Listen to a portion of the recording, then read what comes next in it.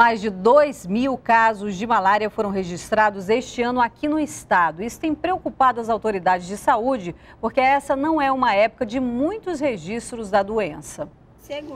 Hoje foi dia da Gleice e os três filhos levarem aquele furinho no dedo. As crianças, como sempre, têm aquele medo da agulha. Já o medo da mãe é da malária. Quando chega às 6 horas dá bastante mosquito.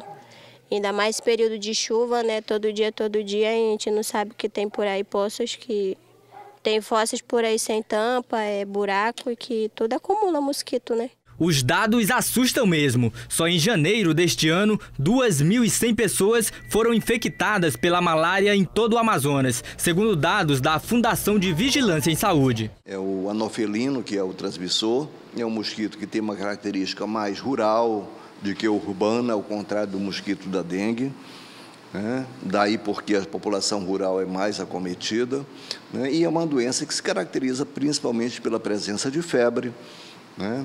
dor de cabeça, dor no corpo, calafrios. Manaus e São Gabriel da Cachoeira, no interior do estado, lideram os casos da doença neste início de ano. Só na capital foram 635 registros. Em São Gabriel, 604 casos confirmados. E olha que a FVS afirma que ainda nem estamos na época de maior proliferação da doença. O período de maior ocorrência de malária é exatamente no período de poucas chuvas. Né? O nosso, nosso verão amazônico aqui é, iniciando de julho e indo até novembro. Esse realmente é o período em que eu tenho uma maior transmissão, há uma estabilização dos criadouros né, e, consequentemente, uma maior população de mosquito transmissor de malária.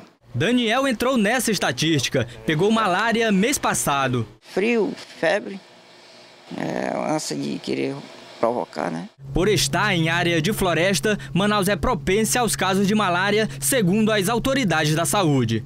O vetor da malária se reproduz em ambiente de sombra e água parada, especialmente em rios e igarapés, mas também em áreas de risco, como as invasões aqui da capital. Por isso, as ações de controle e combate à malária foram intensificadas na capital. Hoje, os agentes visitaram áreas de invasão no Tarumã, na Zona Oeste. Cada um tem o seu itinerário, visita casa em casa, orienta ao, ao morador, né, conforme a que o sintoma de febre, dor de cabeça, faz a coleta da lâmina e verifica também os, os terrenos, né? Aí... E foragidos do Compage foram presos com armas e carros roubados ao tentar assaltar um supermercado na zona centro-sul da cidade. Uma funcionária também foi presa porque passava informações para os criminosos. Isaac Braga da Silva, conhecido como Bob, e o Alisson Ferreira, o Maranhão, foram presos na zona norte de Manaus. Tivemos é, a informação de que eles estariam é, arquitetando, planejando executar um roubo essa semana em um estabelecimento comercial na, no Adrianópolis. Com eles também foi presa Denísia da Silva, de 27 anos. Ela era funcionária do supermercado e passava informações aos criminosos sobre a rotina do local.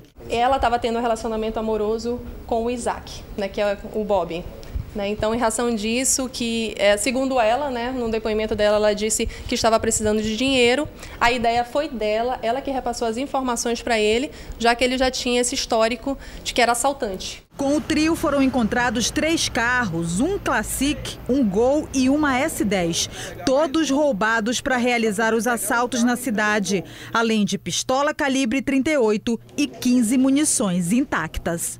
Eles é, confessaram né, que esses veículos eram roubados e indicaram a localização desses veículos e a equipe de investigação do primeiro DIP, com apoio operacional do Grupo Fera e Seccional Sul, é, conseguiram recuperar esses veículos que estavam abandonados, um no Petrópolis e outro no, no, São Francisco. Os três vão ser encaminhados aos centros de detenção provisória. Vão responder pelos crimes de associação criminosa e porte ilegal de armas de fogo.